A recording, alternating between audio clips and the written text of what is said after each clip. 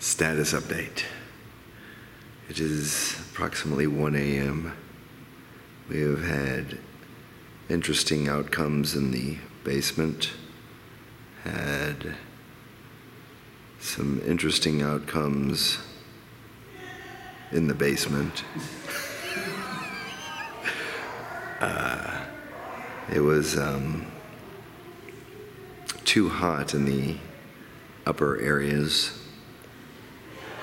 and uh, the pool was way too noisy. Now, we did have some interesting heaviness, uh, hard to breatheness kind of thing in the uh, area behind the pool, uh, mind you, but uh, still nothing conclusive, like no mag lights or anything like that. So, yeah,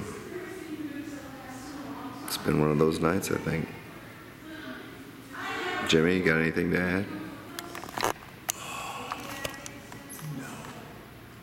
Nothing at this point. Blah, blah. There you have it. That seems to sum up the night. Blah, blah.